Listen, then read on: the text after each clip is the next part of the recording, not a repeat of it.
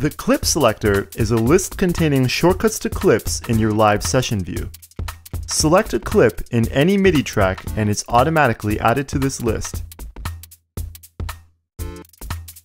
Double-click a recent clip to view its contents in Liquid Rhythm.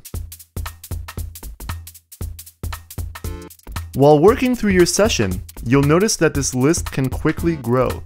Drag and drop clips you use the most often into the Saved tab.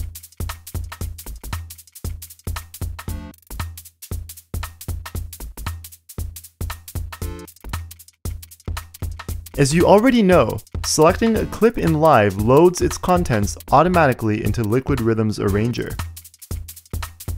To edit one clip exclusively, activate Lock Mode.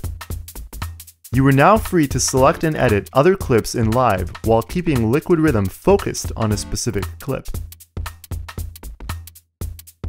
When you're ready to edit another clip, double-click it from the clip selector list or deactivate lock mode.